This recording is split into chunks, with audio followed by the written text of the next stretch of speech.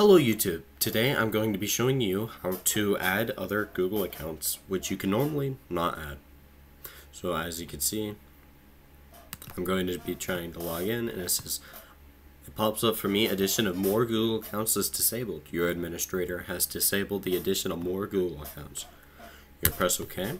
You're going to go to Chrome colon slash slash settings. Press enter you're going to search for cookies. You're going to scroll down until you find cookies and other site data. You're going to click it. You're going to scroll down. And now where it says sites that can never use cookies, you're going to press add and you're going to type google.com. Then you're going to click add and then you're finished. So now let's try that again.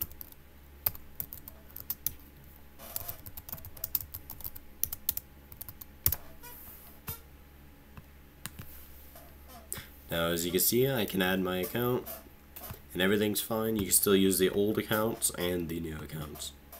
I hope you enjoyed. Have a good day.